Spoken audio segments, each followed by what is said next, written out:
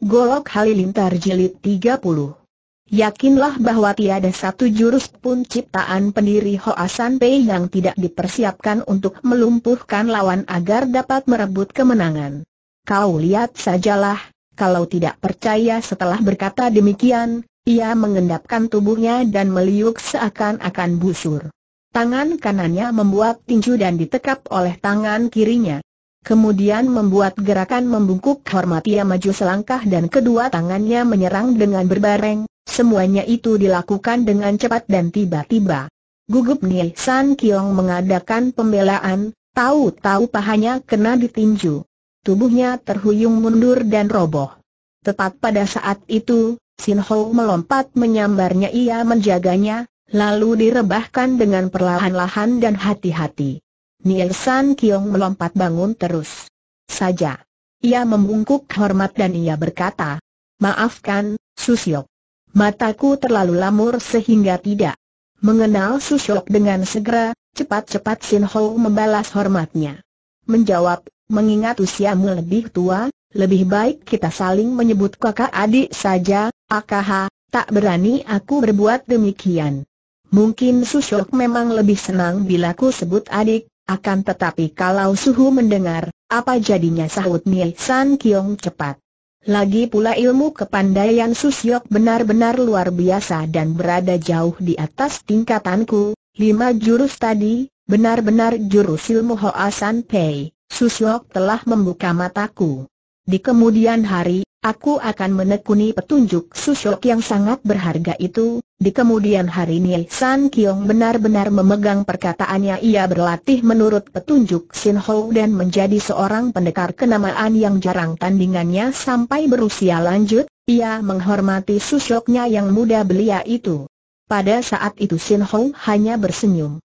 Tak dapat ia menolak alasannya Nie San Kiong, memang kalau gurunya Nie San Kiong mendengar betapa sikap muridnya itu terhadap dirinya, bisa-bisa dikutungan kedua lengannya. Kiang Yanbu dan Xie Liu Hwe kini tak dapat lagi bersangsi, setelah menyaksikan betapa Sin Ho dapat merobohkan Nie San Kiong dengan lima jurus, walaupun demikian, Kiang Yanbu masih yakin akan ketangguhannya sendiri pikirnya di dalam hati, aku memang murid tertua dari Suhu, akan tetapi ilmu pedangku, ku peroleh dari San Susyok dan istrinya, dia tadi selalu melawan musuhnya dengan tangan kosong. Mungkin dia hebat dalam ilmu tangan kosong tapi belum tentu ia mahir dalam ilmu pedang. Selagi berpikir demikian, Xia Liu Hwa berseru kepadanya, Kiang Suheng, kau belum mencoba ilmu pedangmu? Diam-diam Kiang Yanbu menjadi girang mendengar pertanyaan itu, Terus saja ia mendekati Sin Ho dan berkata, dengan suara angkuh, sekarang giliranku, aku biasa menggunakan pedang, karena itu lawanlah aku dengan pedang juga, menurut kabar, kau adalah murid tertua Jie Su Heng Pui Tong Kim, tetapi Jie Su Heng sesungguhnya seorang ahli dalam ilmu silat tangan kosong, sebaliknya kau terkenal dengan pedangmu, apakah kabar itu tidak benar-benar atau tidak, Bukan urusan musahut Kiang Yanbu. Aku memang murid tertua Pui Suhu, tetapi ilmu pedangku ku peroleh dari suami istri San Ho Liang. Kenapa? Apakah aku tidak berhak lagi menyebut diriku sebagai murid Hoa San Pei? Lau Susyok pernah mengajari aku satu dua jurus, apakah aku tidak berhak membawa-bawa nama rumah perguruan Hoa San Pei AKH? Sombong benar manusia ini pikir Sin Ho, Sifat dan perangainya jauh berbeda dengan Sang Kiong, pantas sepak terjangnya keterlaluan. Biarlah ku hajarnya benar-benar, agar di kemudian hari tidak merusak nama baik rumah perguruan Hoa San Pei. Mungkin sekali, dia akan bisa merubah sepak terjangnya setelah ku beri pengalaman pahit titik memperoleh keputusan demikian Sin Ho menyahut dengan menegakkan kepala, katanya, untuk mengadu pedang bukan soal sulit, hanya saja, setelah kau kalah, wajib kau mendengar perkataanku. Barangkali tidak terlalu sedap bagi pendengaranmu, sekarang belum ada keputusan siapa yang menang dan kalah, karena itu terlalu pagi untuk membicarakan urusan kalah dan menang. Buktikan dulu sahut Kiang Yanmu sambil melintangkan pedangnya di depan dadanya dan mengambil tempat di sebelah kiri. Kiang Suheng pedangmu tidak boleh kau angkat terlalu tinggi. Dia adalah paman guru kita seru Sang Kiong. Tetapi Kiang Yanbu tidak menggubris seruan adik. Seperguruannya itu ia tahu, peraturan rumah perguruan Hoa San Pei, apabila angkatan muda berlatih pedang dengan angkatan tua, maka pedang angkatan muda tak boleh diangkat terlalu tinggi sebab gerakan pedang itu sendiri merupakan tata tertib kehormatan. Akan tetapi pada saat itu Fia menganggap Sin Ho bukan paman gurunya, karena itu, ia telah mengangkat pedangnya tinggi di atas dada, lalu menantang, silahkan betapa sabar Sin Ho akhirnya mendongkol juga. Meskipun demikian, ia tidak segera menerima tantangan Kiang Yanbu, ia menoleh kepada Sim Pek Eng dan berkata, Sim Susyok. Maafkan, aku tadi menyebut Susyok dengan saudara sebab pada saat itu aku memperkenalkan diri sebagai adik seperguruan Ginco Along Kun, AKH, tidak apa-apa janganlah meributkan soal itu, yang tidak ada artinya untuk dibicarakan, sahut Sim Pek Eng. Terima kasih, Susyok. Sekarang, bolehkah aku meminta pertolongan dari murid Susyok untuk membawakan sepuluh batang pedang kemari mengapa tidak sahutnya yang segera memerintahkan muridnya untuk mengambilkan sepuluh batang pedang panjang, mengingat Sin Ho telah menolong jiwa gurunya, Sang murid itu sengaja memilihkan pedang-pedang yang istimewa, sepuluh pedang itu kemudian ditempatkan di atas meja, yang berada tak jauh dari Sin Ho, semua hadirin mengarahkan pandangnya kepada Sin Ho, mereka merasa heran entah apa maksud pemuda itu yang menghendaki sepuluh batang pedang. Apa dia hendak memilih sebatang di antaranya? Akan tetapi, di luar dugaan, Sin Ho justru memungut pedang buntung Sieli Uhwa.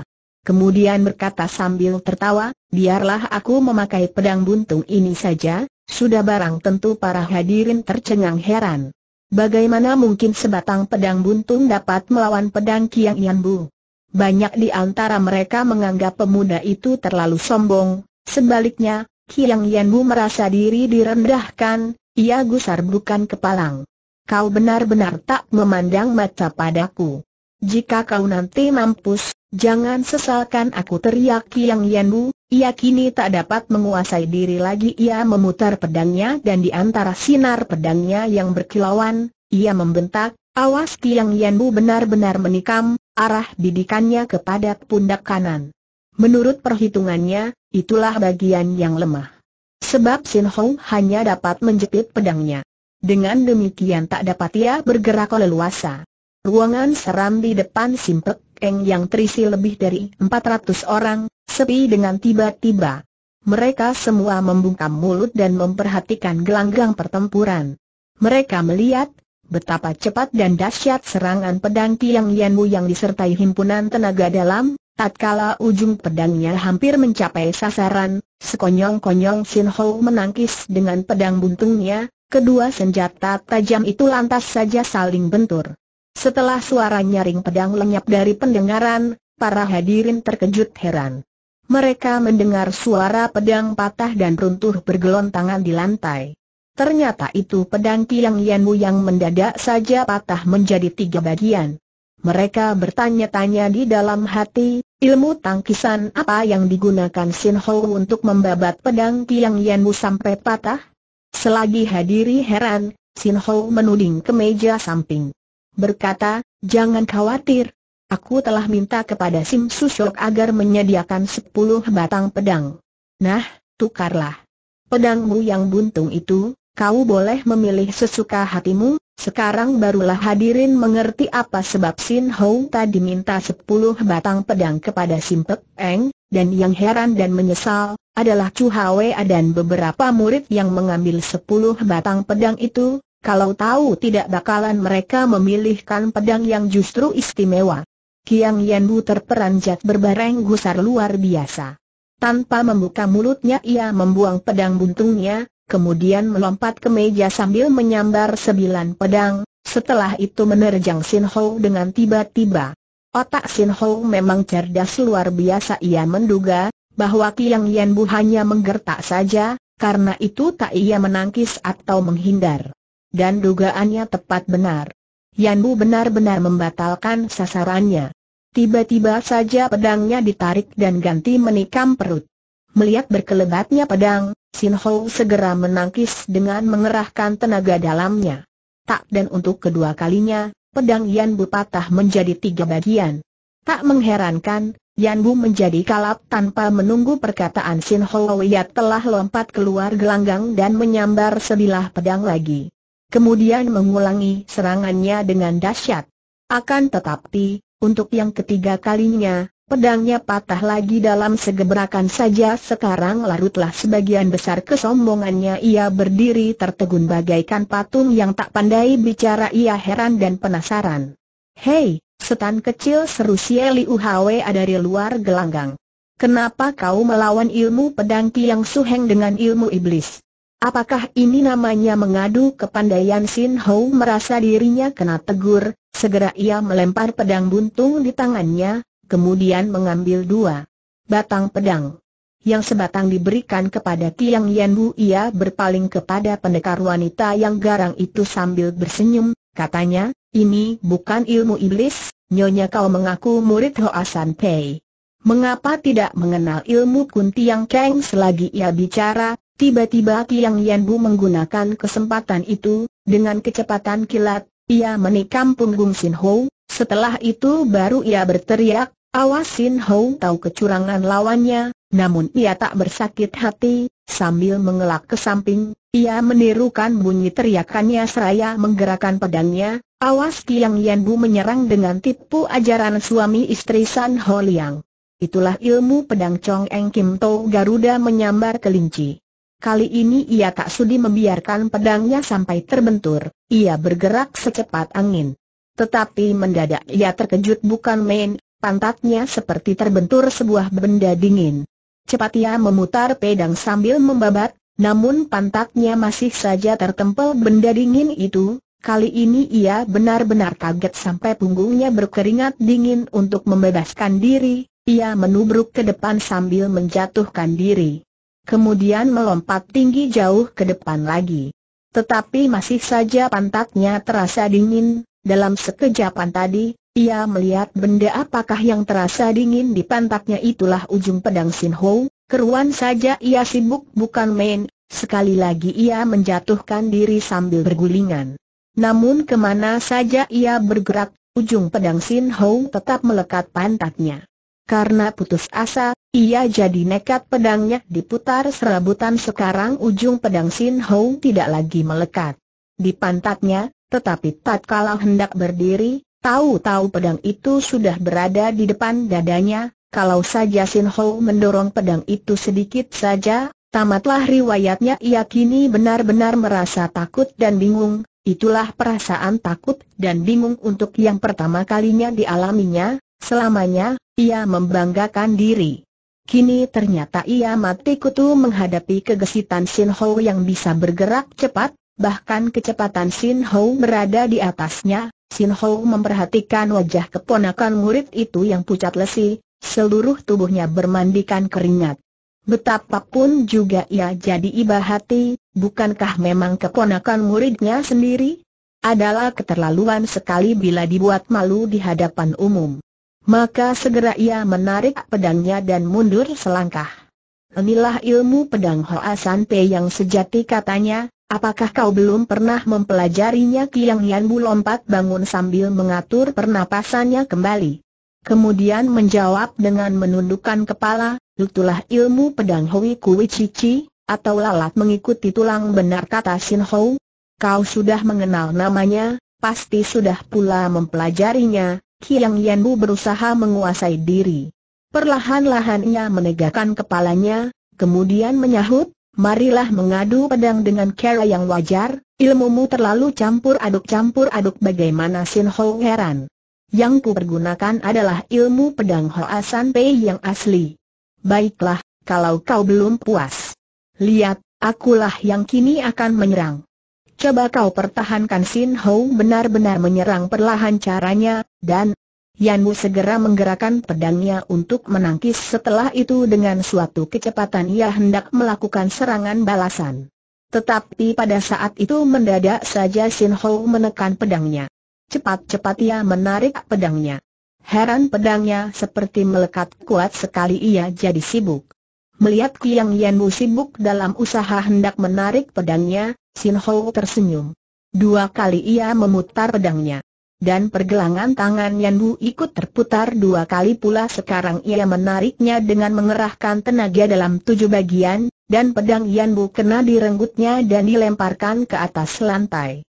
Bagaimana? Apakah kau masih mau mencoba lagi kata Sin Ho sabar. Rasa penasaran Kiang Yanbu makin hebat ya sekarang jadi nekat. Dengan membungkam mulut ia menyambar sebatang pedang lagi dari atas meja, kemudian menyerang pundak kiri Sin Ho, ia menikam dengan cara yang lain, pedangnya ditusukkan dan ditarik silih berganti dengan cepat, ia sadar, dalam hal mengadu tenaga dalam merasa ia kalah. Sin Wik pun tidak memutar pedangnya lagi, setelah mengelakkan beberapa tikaman, ia menikam dada si bandel itu, itulah serangan yang hebat sekali. Mau tak mau Yanbu harus menangkis. Terang. Dan untuk kesekian kalinya pedang Yanbu terlepas dari tangannya. Kali ini sampai mental tinggi ke udara hampir mencapai langit-langit. Kiang Yanbu semakin kalap, tak sudi ia menunggu pedangnya turun dari udara. Dengan sekali lompat ia menyambar sebatang pedang baru lagi, kemudian maju lagi hendak menyerang. Apakah benar-benar kau tak sudi menyerah bentak Sin Ho? Ia lantas membolang-balingkan pedangnya, mematikan daerah gerak Yanbu. Dan diancam secara demikian, Yanbu terpaksa membatalkan maksudnya. Namun masih saja ia mencoba membebaskan diri ia mengelak sambil menarik tubuhnya ke belakang. Menyaksikan kebandelannya, Sin Ho jadi mendongkol ia menggertak sambil menyambar kaki si bandel itu. Dan tubuh Kiang Yanbu terangkat naik lalu roboh terbanting di atas lantai. Kemudian Sin Ho mengancamkan ujung pedangnya pada tenggorokan. Menegas, benar-benar kau tak mau menyerah selama hidupnya, belum pernah Kiang Yanbu terhina seperti itu, ia mendongkol, gusar dan malu bukan main, karena tak dapat menguasai diri, maka akhirnya ia jatuh pingsan. Sieli Uhwe lompat ke dalam arna karena melihat kakak seperguruannya rebah tak berkutik. Segera ia menyerang kalang kabutan, sambil berteriak, kalau kau bunuh dia, bunuhlah kami berdua juga tergetar hati Sin Ho mendengar teriakan Sieli Uhwe dan melihat keadaan Kiang Yanwu yang pucat wajahnya, kedua matanya melotot menatap langit-langit. Kedua biji matanya sama sekali tak bergerak. Tubuhnya tak berkutik pula. Benar-benarkah ia mati karena penasarannya ia lantas membungkuk hendak memeriksa pernapasannya. Pada saat itu, ia melihat berkelebatnya kedua tangan Sieli Uhwa menyerang dirinya, tak sudi ia mengelak atau mencoba melawannya. Ia hanya mengerahkan himpunan tenaga dalamnya kuat-kuat, sambil membenturkan baju mustikanya yang tak mempan senjata tajam. Jangan khawatir. Kakakmu belum mati, kata Sin Hong setelah memeriksa pernapasannya. Tetapi Sieli Uhwa sudah kalap. Kedua tangannya terus memukul punggung Sin Hong asal jadi saja, setiap kali membal, ia menambah tenaga pukulannya. Keruan saja Nih San Kiong yang berada di luar gelanggang terkejut menyaksikan istrinya memukuli paman gurunya. Terus saja ia melompat dan menarik tubuh Sieli Uhwa. Lepas. Biarkan aku ikut mati, El seru pendekar wanita itu, eh, lepas bagaimana? Kau tak boleh ikut mati. Bukankah kau adalah istriku dan aku suamimu? Kau baru boleh mati manakala akulah yang mati ujar Niel San Kiong melawak. Rupanya dengan care begitulah ia harus melayani watak istrinya yang angin-anginan itu.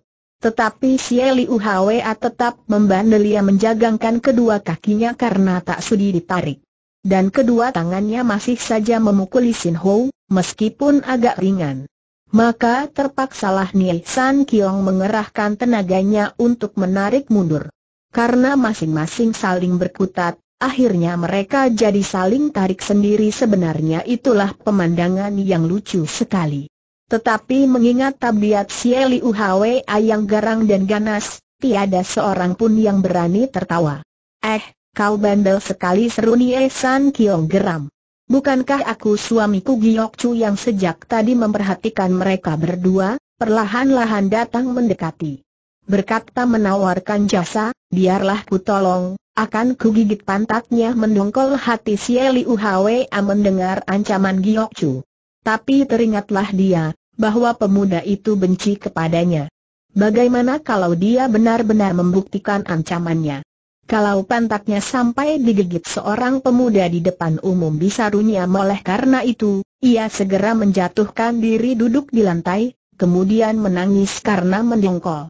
Hei, kenapa menangis? Bukankah aku dulu menggigit pantatmu Giok Chu berteriak. Sebenarnya Ni San Kiong tersinggung, betapapun, Xia Liu Hwa adalah istrinya, Bagaimana ia bisa membiarkan pantat istrinya dibicarakan oleh seorang pemuda di depan umum? Tapi mengingat pemuda itu adalah sahabat paman gurunya, terpaksa ia menelan rasa kehormatannya sekonyong-konyong, di luar dugaan si Eli Uhwa melompat. Bangun dan menggempur pundaknya Giok Chu, itulah serangan yang terjadi sangat cepat dan tiba-tiba, Giok Chu tak sempat mengelak atau menangkis sedang Sin Ho tak mau merintangi, maka pundak Giok Chu benar-benar kena dipukul. Giok Chu kaget sampai berteriak tertahan, akan tetapi pada saat itu juga. Sieli Uhwa memekik tinggi. Kemudian duduk di lantai sambil memijit-mijit kedua tangannya pekitnya. Aduh, tanganku. Tanganku kenapa tanganmu tanya suaminya gugup, ia kaget tak kala melihat tangan si Eli Uhwa bengkak kemerahan, sekejap itu pula taulah ia, bahwa hal itu telah terjadi akibat kena pantulan ilmu tenaga dalam Sin Ho, pantas saja Sin Ho tak mau menangkis atau mencoba merintangi ketika si Eli Uhwa menyerang Giok Chu, sebaliknya rombongan murid-murid Simpek Eng, mengira bahwa bengkaknya tangan si Eli Uhwa adalah akibat menyerang Giok Chu. Karena Giok Chu tadi diperkenalkan sebagai putra Lim Beng Chin, mereka percaya bahwa pemuda itu berkepandaian tinggi.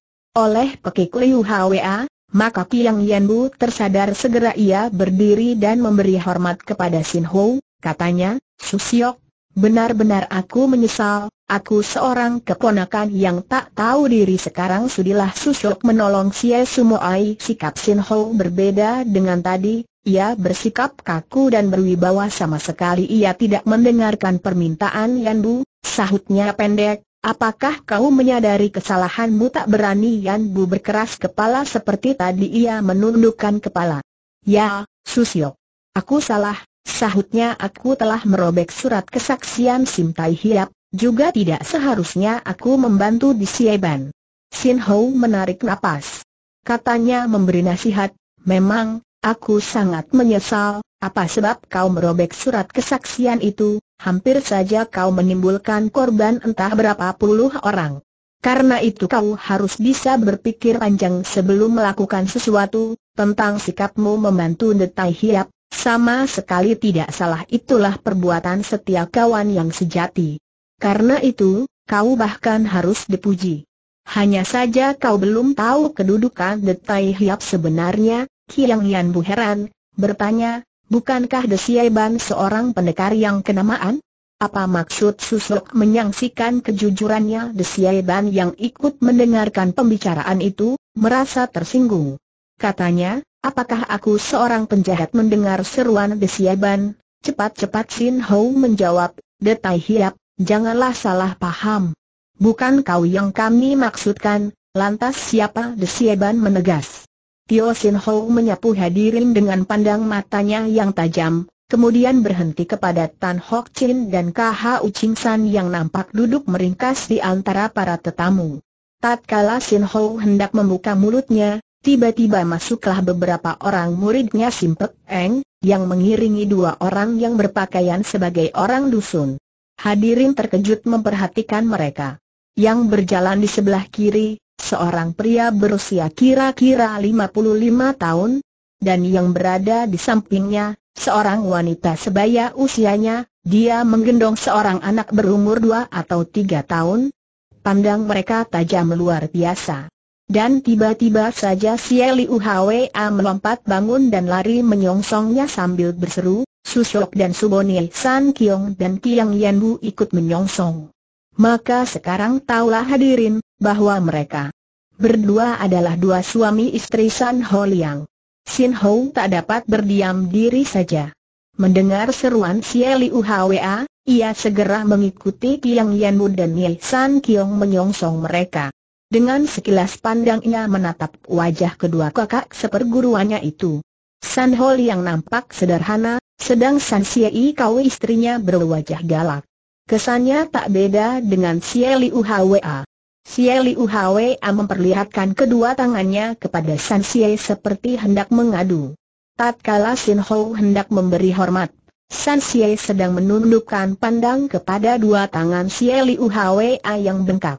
Kedua alisnya bergerak-gerak, sambil mengurut ia bertanya, kenapa itulah pertanyaan yang diharapkan.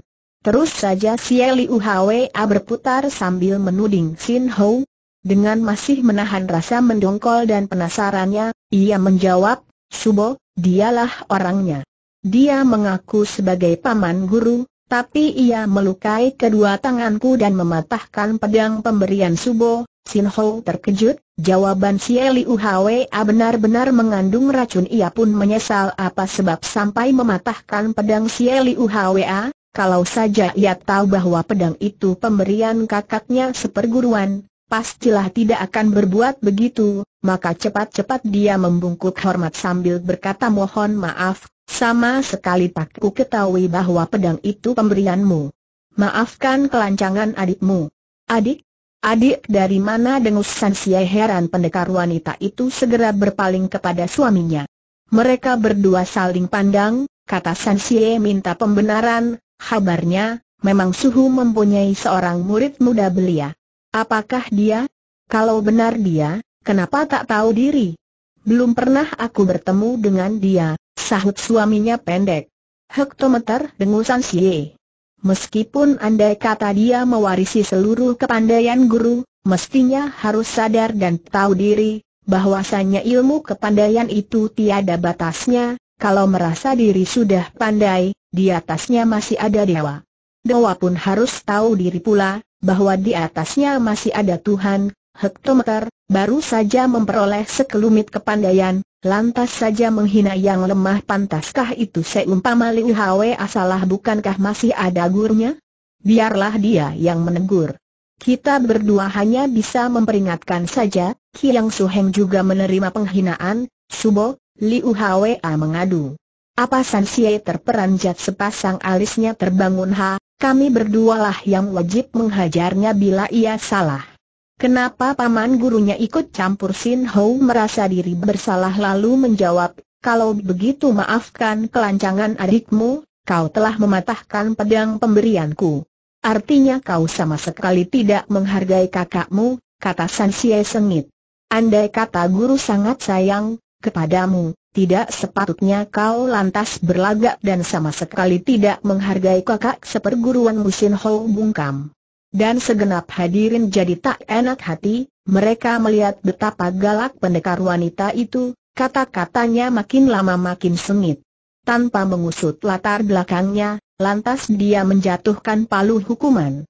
Sangguh keterlaluan. Murid-muridnya simpek, enggelisah bukan main sebaliknya Desiaban dan kawan-kawannya, termasuk Kiang Yanbu, Niai San Kiong dan Xie Liu Hwa mendapat angin baru, mereka kini bisa menegakkan kepalanya kembali. Tak usah menunduk lagi karena merasa malu dan segan. Subo kata Xie Liu Hwa. Setelah mengaku sebagai paman guru, tiba-tiba dia pun datang membawa-bawa nama Ginco Along Kun. Ginco Along Kun siapa? Lembeng Chin maksudnya potong San Xie sengit. Benar. Dia selalu mengunggulkan, dan atas nama Ginco Along pun pula ia merobohkan Kiang Suheng dan Ye Suheng, mendengar perkataan itu, cuping hidung San bergerak-gerak, suatu tanda, bahwa darahnya meluap. Dan melihat hal itu, Sin Ho tetap bersikap sabar dan mengalah. Sebenarnya tanpa disengaja suami istri itu datang ke tempat itu, sudah setahun lebih, mereka merantau untuk mencari obat bagi anaknya, itulah anak yang digendong Sun Xie. Menurut para ahli, anak itu menderita penyakit dalam sejak di dalam kandungan. Terjadi akibat goncangan hebat, tak kala ibunya berkelahi melawan seorang musuh tangguh, dan untuk bisa menyembuhkan penyakit itu, mereka harus menemukan sebutir atau dua butir buah mustika yang jarang sekali terdapat di dalam dunia. Tetapi sebagai orang tua, mereka tidak mengenal lelah dan putus asa. Dari satu tempat ke tempat lainnya mereka merantau. Tapi selama itu, anak mereka semakin kurus. Tak mengherankan, mereka jadi cemas dan gugup, menuruti nasihat seorang tua, mereka mendaki Gunung Butong menemui Tai Kong Tiang Lo, dan melihat penyakit anak itu, Tai Kong Tiang Lo jadi teringat kepada Sin Ho, cucu muridnya itu pun dahulu menderita penyakit macam demikian, entah bagaimana kabarnya, Tai Kong Tiang Lo tidak mendengar lagi. Dalam keadaan lesu suami istri itu melanjutkan perjalanannya. Kalau Tai Kong Tiang Lo saja tidak sanggup mengobati, siapa lagi yang dapat menolong? Tatkala memasuki daerah itu mereka mendengar kabar, bahwa muridnya berada di tempatnya di Siaban, teringatlah mereka bahwa muridnya selalu bersama Sieli Uhwa dan suaminya. Dia pun banyak sahabatnya, mungkin sekali dia bisa menolong. Maka berangkatlah mereka mencarinya. Dan demikianlah mereka tiba di rumah Simpek Eng. San Xie memang seorang pendekar yang keras adatnya. Mudah sekali tersinggung hatinya. Apalagi pada waktu itu ia sedang bersedih hati memikirkan anaknya.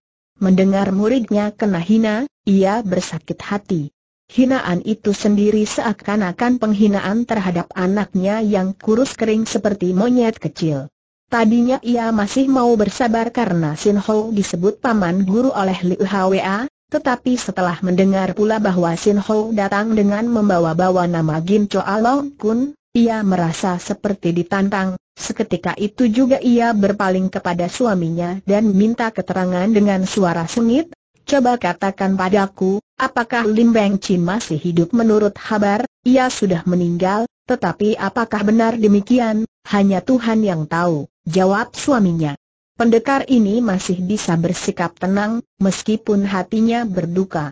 Giok Chu mendongkol menyaksikan Sin Ho ditegur pulang balik dengan kata-kata kasar ia pun mendengar Sun Xie menyinggung-nyinggung nama ayahnya pula, nada suaranya mengejek dan merendahkan.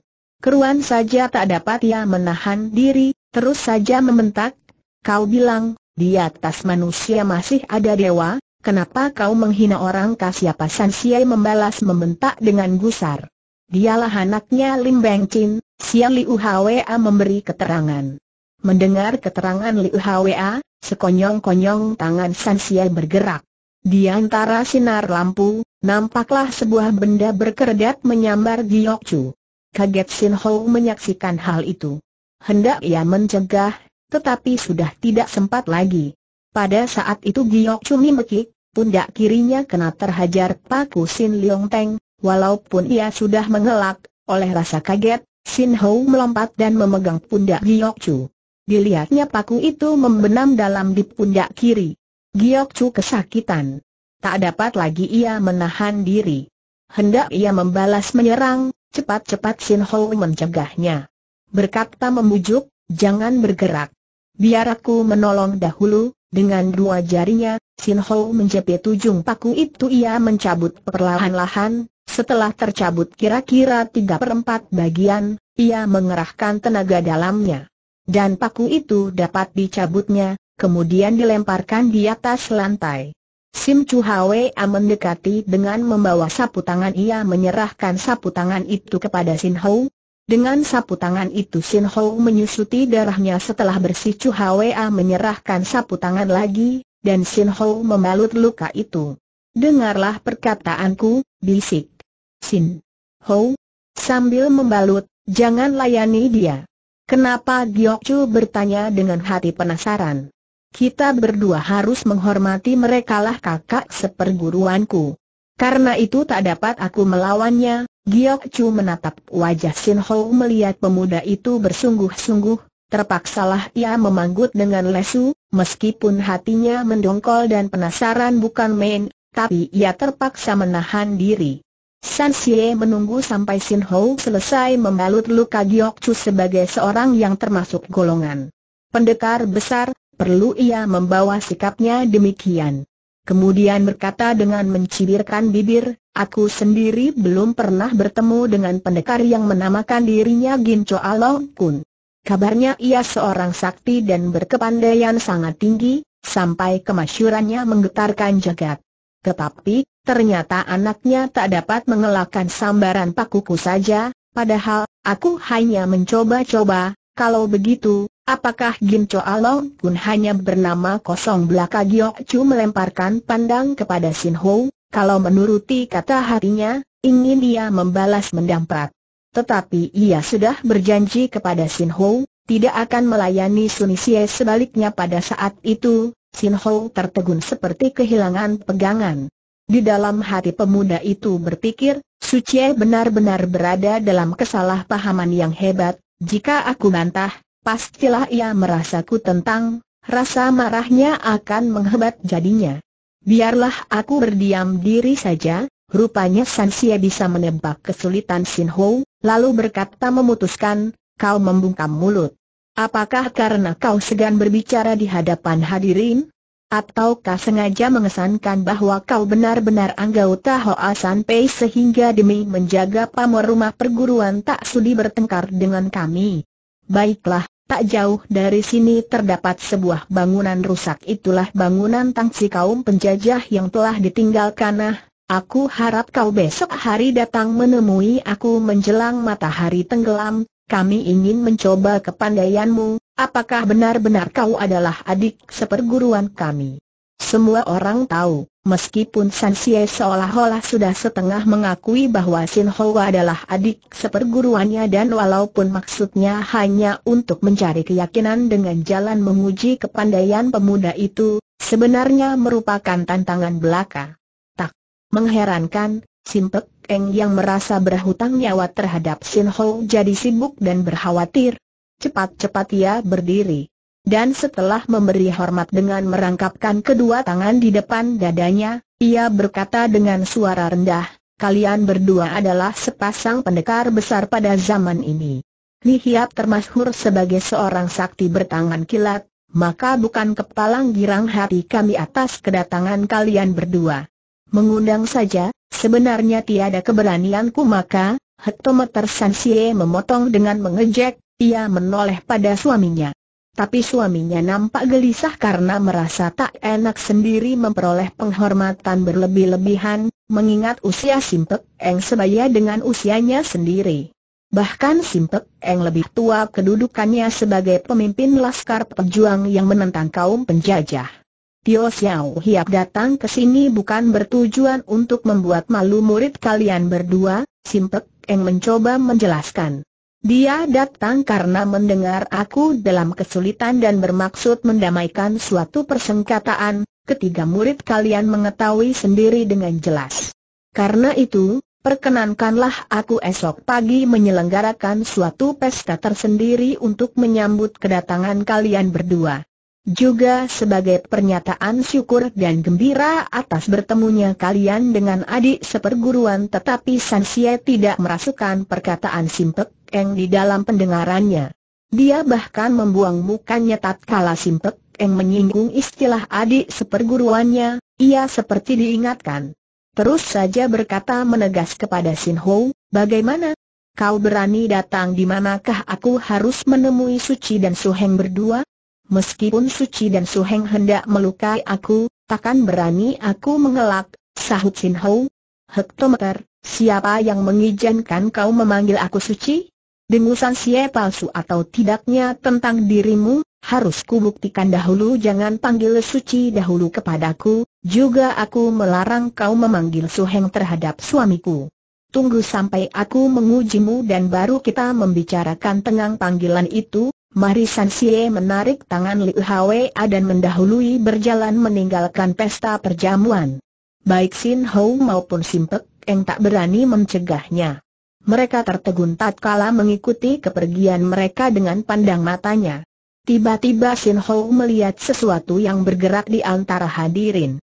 Tentu saja ia lari melesat sambil berteriak, Hei, tunggu sejak tadi Sin Ho telah membagi pandang dan perhatiannya kepada Tan Hok Chin dan KH Uchim San yang nampak duduk di antara hadirin, Di sampingnya duduk pula seorang berkumis dan bercambang tebal dengan perawakannya yang tinggi besar, Sin Ho belum kenal siapa dia. Tapi melihat keakrabannya, pastilah ia termasuk sekutu mereka berdua. Kesan orang itu gagah, pandangnya berpengaruh di kemudian hari ia memperkenalkan diri sebagai seorang pendekar golongan Xiao Lim bukan pendeta. Orang mengenalnya dengan nama Lohan Bo. Selagi Simpek Eng memperlihatkan dua helai surat kesaksian, Tan Hok Chin berdua KH Ucing San mulai gelisah. Mereka berdua saling membisik dengan wajah berubah.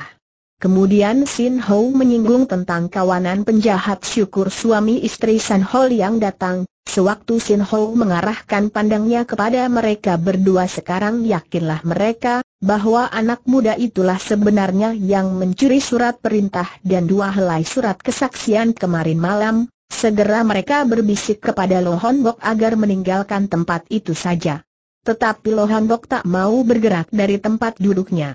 Katanya memberikan jawaban. Tunggu sampai saatnya, mereka berdua menghela napas, namun mereka nampak tunduk. Maka jelaslah, bahwa Lohan Bok berpengaruh besar terhadap mereka berdua. Dan tatkala menyaksikan betapa Sin Ho menjadi jinak menghadapi suami istri San Ho Liang, mereka berdua diam-diam ikut bersyukur dan girang. Mereka memuji kebesaran Tuhan, justru pada saat itu, Lo Hon Bok berkata, sekarang saatnya yang baik, nanti, bila suami istri itu meninggalkan tempat, kita bertiga mengikuti seakan-akan pengiringnya, kalian berdua menyusup di antara rombongan Hoa San Pei.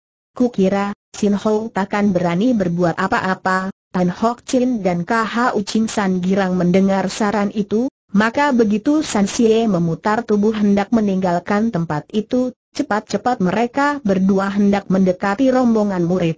Dan apabila rombongan murid mulai bergerak hendak mengikuti San Ho Liang dan istrinya, cepat-cepat mereka mendahului. Akan tetapi pandang matu Sin Ho benar-benar tajam. Gerak-gerik mereka tak luput dari pengamatannya meskipun lagi menghadapi kesulitan. Sebaliknya San Xie salah paham, ia mengira Sin Ho hendak mencegah kepergiannya atau merintangi, sebagai seorang pendekar yang merasa berkedudukan tinggi, tak senang ia diperlakukan demikian semua ucapan dan gerakannya merupakan undang-undang yang tiada batal oleh alasan apa pun, maka bentaknya, benar-benar kau manusia busuk tak tahu diri. Kau berani mengganggu aku membentak demikian, ia memutar tubuhnya seraya melayangkan tangannya. Arah sasarannya kepala, itulah salah satu macam serangan yang biasanya tak pernah gagak ya.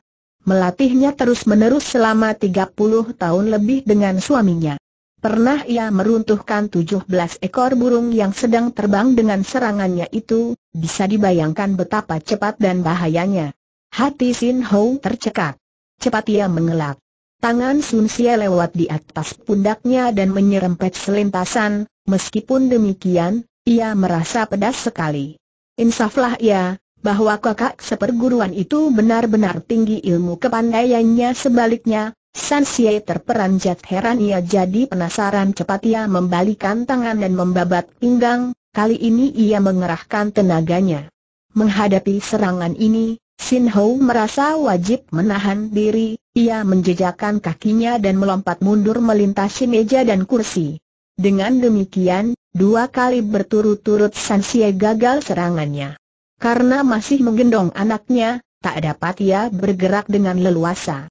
Teringat pula bahwa ia telah memutuskan untuk mengadu kepandaian esok petang, terpaksa ia menelan rasa mendongkol dan penasaran.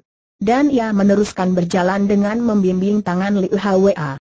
Tan Hok Chin dan KH Uching San tak sudi kehilangan kesempatan yang bagus itu, juga Lohan Bok yang berada di belakangnya, mereka lantas menerobos keluar rombongan dan lari secepatnya. Hei, mau lari ke mana? Berhenti seru Sin Ho, karena terpaksa melompat mundur untuk menghindarkan serangan San Xie, jaraknya kini kian menjauh dari mereka bertiga. Namun Sin Ho tidak mau kehilangan mangsanya. Tak ubah seekor burung, ia terbang melintasi kursi dan meja, tangannya berkelebat dan menyambar Lohon Bok, yang segera roboh kena cengkeraman. Dalam pada itu Tan Hok Chin dan KH Ching San sudah berhasil lolos dari pintu gerbang waktu itu bulan sipit nampak remang-remang suasana malam gelap pekat, benar-benar Tuhan melindungi mereka berdua. Begitu melintasi tirai malam, tubuh mereka tiada nampak lagi. Mereka seperti hilang teraling iblis. Sin Ho tak berani mengejar ia tahu, mereka berdua termasuk jago yang mempunyai kepandaian tinggi. Kalau tidak, masakan pantas menjadi sahabat Simpek Eng yang dihormati dan disegani itu, dalam malam gelap, mereka bisa menyerang balik. Biarlah untuk sementara mereka kabur. Aku telah berhasil menangkap seorang kawannya pastilah aku dapat memperoleh keterangan dari mulutnya, pikir Sin Ho, ia lantas memutar tubuhnya hendak balik kembali memasuki gebang, sekonyong-konyong ia mendengar suara seseorang berseru padanya, Hei, sahabat kecil. Baru sepuluh tahun aku tidak bertemu denganmu. Dan kepandaianmu sudah maju begitu pesat. Selamat-selamat goncang hati Sin Ho mendengar suara itu, itulah suara yang pernah dikenalnya dan selalu meresap di dalam hatinya, Segera ia menoleh dan melihat seorang tua mengempitan Hok Chin dan KH Uchin San orang itu berkumis dan berjenggot sudah putih semua, siapa lagi kalau bukan Bok Siang Tojin, yang dahulu mewarisi ilmu ringan tubuh kepada Sin Ho. Suhu seru Sin Ho girang. Terus saja ia lari menghampiri dan berlutut. Bok Siang Tojin tertawa berkakakan sahutnya, eh, sejak kapan perutmu berubah? Dahulu kau tak sudi menyebutku suhu. Aku pun tak sudi kau sebut sebagai gurumu. Kau berlutut pula padaku. Apa-apaan, hei, coba lihat, Siapa dia yang berada di belakangku Sin Ho mengalihkan pandang dia melihat seorang laki-laki berusia kurang lebih 48 tahun. Rambutnya sudah setengah berubah wajahnya menceritakan pengalaman yang matang. Dan melihat orang itu, Sin Ho kian menjadi girang. Dialah Tio Hian Chong yang dahulu melindungi mati. Matian sampai nyaris mengorbankan jiwanya sendiri cepat ia lari menghampiri dan merangkulnya erat-erat. Susyok serunya penuh haru, Susyok cepat menjadi tua, Tio Hian Chong tertawa senang ia tidak menjadi tersinggung dengan pertanyaan Sin Ho, sahutnya, inilah penanggungan orang yang hidup dalam kancah perjuangan perhatian hidup terlalu terbagi-bagi, Sin Ho memeluknya kian erat, keadaannya jauh berbeda dengan Bok Siang Tojin, meskipun usia orang tua itu sudah lanjut, namun raut wajahnya nampak segar bugar. Tapi Susyok tak kurang suatu apa, bukan tanya Sin Ho? Seperti kau lihat, hidungku tetap satu, tiada yang kurang, sahut Tio Hian Chong. Mereka berdua lalu berjalan bergandengan tangan. Hati mereka berdua terharu tergoncang pertemuan itu, kalau saja tidak mendengar suara desiaban, mereka tidak akan tersadar.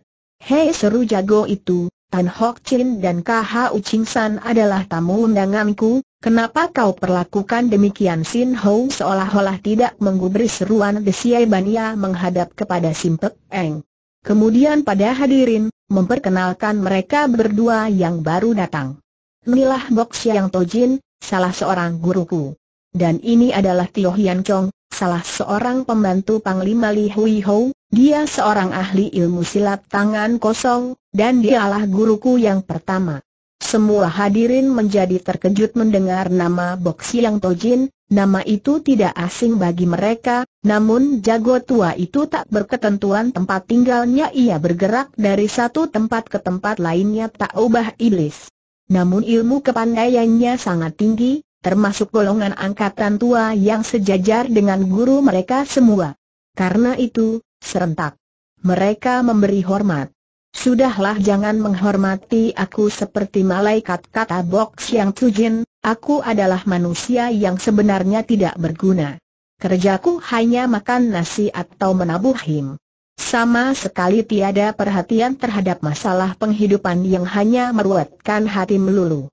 Tapi pada suatu hari aku mendengar beberapa orang saling membisik hendak menjual jasa terhadap kaum penjajah, nah, inilah lain orang boleh jahat, boleh jadi maling, tapi kalau sampai mau menjual bangsa dan negara kepada orang asing adalah keterlaluan.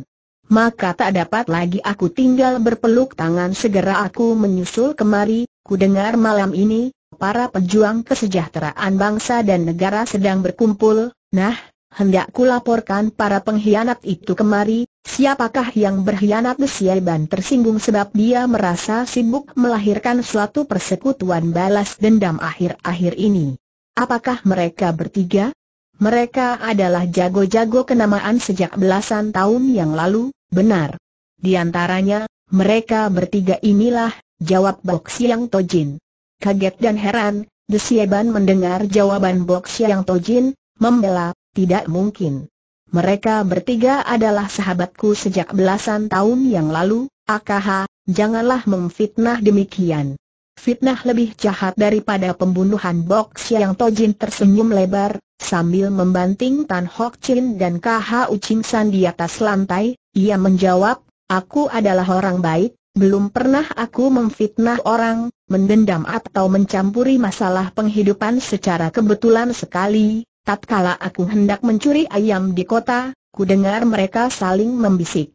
Mereka berada di tangci tentara penjajah, dan merencanakan hendak menghancurkan laskar perjuangan Tio Suseng, maka ku ikuti. Mereka dan ku perhatikan sepak terjangnya, kenapa aku memfitnah Desieban adalah seorang pendekar yang kenamaan ia jadi tersinggung, tanyanya dengan suara tegas, apakah Lo Chiam Pue mempunyai bukti box yang Tojin tertawa jawabnya. Bukti? Apakah aku perlu mempunyai bukti untukmu ucapan box yang Tojin sudah menjadi jaminan? Apa yang kukatakan, itulah undang-undang yang berlaku. Tentu saja, siapa pun tak dapat menerima alasan itu, Desieban jadi panas hati. Berkata tak senang, apakah alasannya untuk bisa mempercayai setiap patah perkataan Lo Chian Wee sekarang Bok Siang Tojin yang merasa tersinggung ia membentak, gurumu sendiri tak berani mengucap demikian terhadapku, kenapa kau berani begitu? Sementara itu Sin Hong cepat-cepat bertindak ia kenal perangai dan tabiat gurunya, kalau sampai kalap, akan jadi kacau balau, segera ia memperlihatkan dua helai surat, dan berkata kepada Desieban, Detai Hiap, tolong kau baca sendiri surat ini, agar hadirin dapat mendengar dan mengadili, dua kali sudah Desieban dikacaukan oleh lembaran surat, yang pertama surat kesaksian, dan yang kedua adalah surat ini, yang kini berada di tangannya. Dengan hati berdebar, ia membaca. Dan baru membaca beberapa baris kalimat, ia kaget sampai berjingkrak itulah surat perintah dari pejabat pemerintah penjajah terhadap Tan Hok Chin dan KH Ucing San surat perintah untuk mengadu domba para pendekar dan laskar pejuang bangsa agar saling bunuh-membunuh dan mereka berdua dibantu oleh seorang kepercayaan. Pejabat pemerintah penjajah yang bernama Kuci Yetat. Surat perintah itu diperkuat oleh dua tanda tangan dan dua cap jabatan. Setelah Desiaiban selesai membaca surat itu, para hadirin gempar. Tian Chong Tojin lompat mendekati Lohon Bok, membentak. Benarkah kau anak murid Xiao Limbe benar?